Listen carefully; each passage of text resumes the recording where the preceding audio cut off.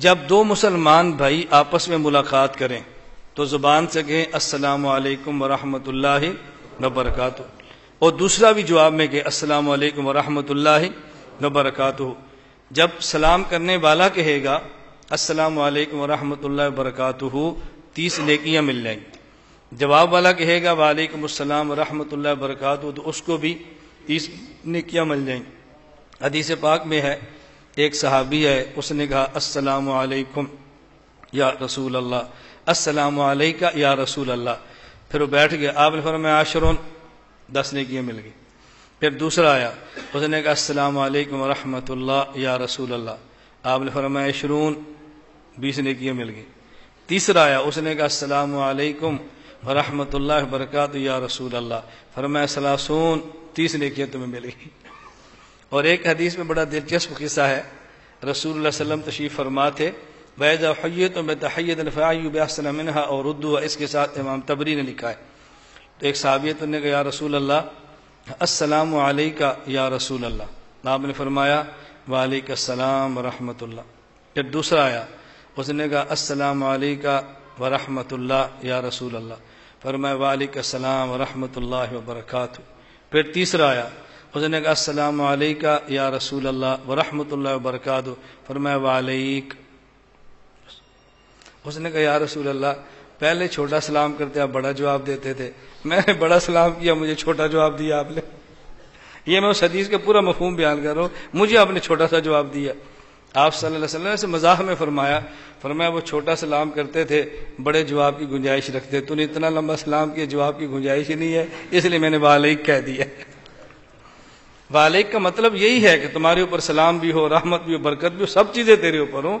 लेकिन रसूल वसल्लम कभी मोहब्बत में ऐसी बातें फरमाते रहते थे, और अगर आप ये मजाह न फरमाते, उम्मत आपसे इस्तेफादा न कर सकती। क्यों? हदीस पाक में है नुसर तो रोब एक हदीस में मसीरत शहरइन दो महीने की मुसाफत पर बंदा हो, अल्लाह के नबी का रोब उसके ऊपर पड़ जाता था तो करीब वाला कैसे आपसे बात पूछ सकता? इसलिए रसूल वसलम के मज़ा ऐसे फरमाते थे कि जैसे बंदा करीब होता और आपसे इस्तेफादा कर लेता था यह आपका मसनून तरीका है। खैर, एक तो ज़ुबान से कहें। नंबर दो, हाथों के साथ हाथ मिलाएँ और एक हाथ से मुसाफा न करें, दो हाथ से करें। देखो, ये याद रखें। मुसाफा एक हाथ से नहीं करना, बल्कि दो हाथ से करो इस पे हमारे पास दलाइल है कि दो हाथ से मुसाफा क्यों करते हैं। हज़रत इमाम बुखारी रहमत ने के बाब कायम किया, बाबुल मुआनका। इसका माना है गर्दन के साथ गर्दन मिलाना। ये भी समझ लें। हम गर्दन के साथ गर्दन नहीं मिलाते, या तो सीने के साथ सीना मिलाते क्या मिलाते हैं? सीने के साथ। देखो आप हम ऐसे मिलते हैं। सीने के साथ सीना। इसे क्या कहते हैं? क्या कहते हैं? मुसादरा। सीने के साथ सीना मिलाए तो क्या लफ्ज है? और गर्दन से गर्दन मिलाएँ। हम क्या करते हैं? और बाद लोग सीने से सीना नहीं मिलाते पेट से पेट मिलाते। खसूस जिनका पेट मुझ जैसा हो। तो ये मुआनका नहीं है, ये है मुबातना। पेट से पेट मिलाना। क्या मिलाना? पेट से पेट और अल्लाह रहम फरमाए, हमारे बलोचिस्तान और पख्तून खा के पठानों और कुर्सियों पर ये कुछ भी नहीं करते। ना मुसादरा, ना मुबातना, ना मुआनका, कुछ भी नहीं करते। ये ऐसे करते ना हो, ये ऐसे करते बस। अल्लाह अल्लाह कुछ भी नहीं। मैं अपने तलबा से गुजारिश करता हूँ, जिन्हें तखसस यहाँ किया है, अल्लाह के लिए अपने इलाकों में जाओ और इस सुन्नत को ज़िंदा करो। करेंगे ना इनशाला हाँ थोड़े से अपने रिवाज बदलो। तो मसनून तरीका है मुआनका। मुआनके का माना होता है ये देखो, मैं आपको करके गर्दन से गर्दन मिलाना, ये। समझ आ गई? गर्दन से गर्दन, ये है मुआन का। तो हज़रत इमाम बुखारी रहमत ने पहले बाब कायम किया, बाबुल मुआनका। इस पर हदीसें लाए। फिर इमाम बुखारी ने बाब कायम किया, बाबुल मुसाफहा। भाई, सिर्फ़ गर्दन से गर्दन नहीं मिलाना, हाथ भी मिलाना है। फिर इस पर हदीसें लाए। फिर इमाम बुखारी ने तीसरा बाब कायम किया, बाबुल अखज बिल यदैन। कैसे मसला खोला है? मुसाफा भी करना है, एक हाथ से हाथ नहीं मिलाना, बिल यदैन दोनों हाथों से दो हाथ मिलाने। किस तरह करने? दोनों हाथ, बिल यदैन तो इमाम बुखारी ने पहले बाब किया बाबुल मुआन का, फिर बाबुल मुसाफा, फिर बाबुल अख्ज बिल यदैन दोनों हाथों से मुसाफा करो।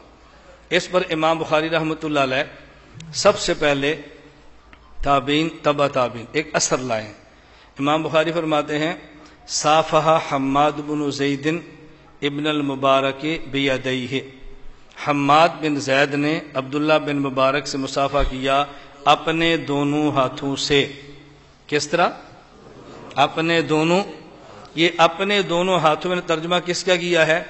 एक लफ्ज होता है यद, इसे कहते हैं हाथ। एक होता है यदईन इसे कहते हैं दो हाथ। तो इमाम बुखारी लफ्ज लाए यदईन एक होती है ही जमीर, इसका माना होता है एक। हुमा का माना होता है दो, हिम का माना होता है तीन। हु, होमा, हुम, ही, हिमा, हुम, एक, दो और तीन। तो इमाम बुखारी जमीर लाए वाहिद की। हाथ लाए हैं दो यदईन साफहा हम्माद बिन जैदिन इब्न मुबारक बियादई ही बंदा एक था, हाथ दो थे। बंदा एक था, हाथ। इससे मसला हल हो गया ना?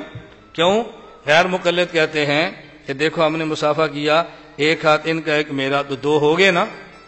इमाम बुखारी फरमाते नहीं, भैया दई ही, बंदा एक हो, हाथ दो हो। इसे बाबुल अखजबिलदैन कहते बात समझ आ गई?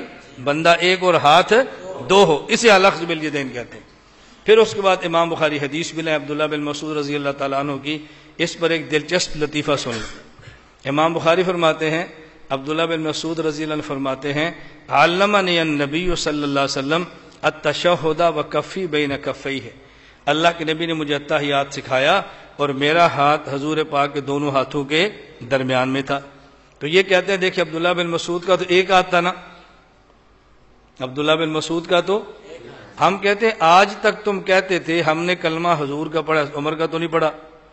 कलमा हजूर का पढ़ा, साहबा का तो नहीं पढ़ा। अब बताओ, तुमने कलमा हजूर का पढ़ा है या अब्दुल्ला बिन मसूद का?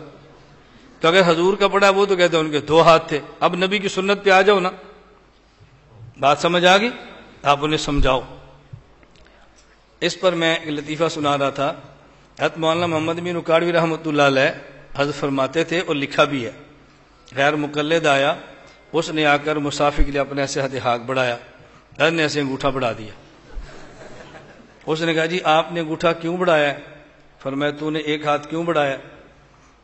जबकि सही बुखारी में है, अब्दुल्ला बिन मसूद फरमाते हैं कि मेरा हाथ हजूर के दोनों हाथों के दरमियान था। नबी पाक के दो हाथ थे तूने एक हाथ क्यों बढ़ाया? उसने कहा, जी, मैं कोई नबी तो नहीं हूँ ना। तो फरमाया कि, मैं कोई साहबी हूँ। तूने एक हाथ बढ़ाया ताकि पता चला कि, पता चले कि नबी नहीं है। मैंने अंगूठा बढ़ाया ताकि पता चले कि साहबी भी नहीं है। अब इसका उनके पास कोई जवाब नहीं था। बात समझ आ गई? इसका उनके पास कोई जवाब नहीं था। आज बस अवत ऐसी बातें फरमाया करते थे बात समझाने के लिए। खैर, मैं समझा रहा था कि मसला आप जेन पर रख लें। बात जेन में आ गई है। इतनी बात जेन में रख लें, ये हत अब्दुल्ला बिन मसूद फरमाते थे कि मेरा हाथ रसूल सल्लम के दोनों हाथों के दरमियान था। उनका मकसद ये नहीं था कि मेरा एक हाथ था। वो समझाना चाह रहे थे कि मेरा हाथ इतना बरकत वाला है, इसके इधर भी हजूर का हाथ था, इधर भी हजूर का हाथ था। उनने बरकत समझाई है। ये नहीं समझाया कि मेरा एक हाथ था। और खुद इमाम बुखारी रहमत अपने वालिद से नकल करते हैं। ये तरीक़ुल कबीर भी है और अपनी इमाम बुखारी की तारीख। और इमाम जहाबी ने सिर अलामबला में भी लिखा है, इमाम बुखारी के हवाले से। इमाम बुखारी फरमाते थे, सामिया अबी बिन मालिक बिन अनसन मेरे वालिद ने हज़रत इमाम मालिक बिन अनस से हदीस को सुना है। आ हम्माद बना जईद तवज्जो रखना। और मेरे वालिद ने हम्माद बिन जैद को देखा है। आगे वसाफ़ा इबन मुबारक बिकिल तायदई है और अब्दुल्ला बिन मुबारक से दोनों हाथों से मुसाफा किया है। कैसे दोनों हाथों से बेकिल तायदई है। इसका मतलब जो बंदा एक हाथ के मुसाफे की बात करे, उसका ताल्लुक इमाम बुखारी से भी नहीं है, इमाम बुखारी के वाले से भी नहीं है। हमारा ताल्लुक इमाम बुखारी से भी इमाम बुखारी के वाले से भी है। गैर मुकलद आपको जो दलील देंगे, बात लंबी है, मैं सिर्फ़ एक समझाने लगूँ। वो कहते हैं कि लगत में मुसाफे का माना होता है, अल इफाजत बेसफ़त यद इला सफ़त यद। हाथ की हथेली को दूसरे हाथ से मिलाना, इसका नाम मुसाफा है। हथेली को हथेली से मिला दिया, मुसाफा हो गया। आप इससे दो सवाल करें। पहला सवाल ये करें, हथेली से हथेली को मिलाना और है, और हथेली से हथेली को पकड़ना और है। जो आप सलाम करते हैं, हथेली को हथेली से मिलाते नहीं है, बल्कि हथेली को हथेली में पकड़ते हैं। तो लोगत की बात करेंगे तो फिर पकड़ना नहीं होगा, मिलाना होगा। अस्सलाम वालेकुम। हो गया मुसाफा सुन्नत। मिल गई ना मुसाफा सुन्नत, हो गया। ये जो आप पकड़ते हैं, इसका लोग माना कहाँ से आपने निकाला? इमाम बुखारी कहते अल अखजो बेलिया दई अल अखज तो फिर लोगत में नहीं है ना? तो लोगत की बात है, फिर इतना कह दो सलाम वालेकुम, चलते जाओ और मुसाफा करते जाओ। दूसरी बात आपने कहो, अगर लोगत में मुसाफे का माना हथेली का हथेली से मिलना है तो हथेली किसकी? हथेली लोगत में है अल इफाजत लोगत में जो है बेसफ़ातिल यद, इला सफ़ातिल यद, हाथ की हथेली। तो हम कहते हैं, ये भी पूछो लोगत में कि हाथ किसे कहते हैं? लोगत में तो हाथ इसको नहीं कहते। लोगत में हाथ किसे कहते हैं? मिनल मनकिब इला अतराफिल असाबे। हाथ इसे कहते हैं यहाँ से लेकर यहाँ तक, ये सारे का सारा हाथ है। फिर करो मुसाफा जरा। अगर लोगत में मुसाफे का माना वो है तो लोगत में हाथ का माना भी तो ये है ना। फिर कैसे मुसाफा करोगे तो मेरी गुजारिश समझ आ गई है। ये बातें आप ना जेन में रखा बात समझानी बहुत आसान हो जाती है। अल्लाह हम सबको बात समझने की तोफ़ी कता फरमाए। हदीस पाक में आता है माम मुस्लिम यल तखियान फ़ैतसाफ़हान अल्ला गफ़िर कबल अफ्तरका मुसलमान जब दो भाई आपस में मिलते हैं और मुसाफा करते हैं, उनके अलग होने से पहले अल्लाह उन सबको, उनके गुनाहों को माफ़ फरमा देते हैं। बात समझना, अच्छी तरह बात समझना, आदमी गुनाह एक हाथ से करता है या दो हाथ से? बोलो।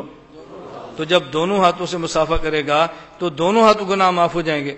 और जब एक हाथ से मुसाफा करेगा तो मुसाफा भी हो गया और गुनाह भी माफ़ नहीं हुए। इसलिए हम कहते हैं, दो हाथ से मुसाफा करो, ताकि ऐसा मुसाफा हो कि जिससे गुनाह भी माफ़ हो जाए। अल्लाह हम सबको बात समझने की तोफ़ी ता फरमाए। तो मैंने कुछ मुख्तसर साहब खिदमत में अर्ज़ कर दिया है, ये बात समझाने के लिए कि आपको मरकज़ आल सुन्नत वाल जमात का क़्याम समझ आ गया ना? हम शुबहत दूर करके अकायद की सलाह भी करते हैं और ख्वाहिशात को साफ़ करके अमाल की सलाह भी करते हैं। इसलिए दीनी दरसगाह भी है और हवाल की खानका भी है। हमने दोनों चीज़ों का अहतमाम किया है।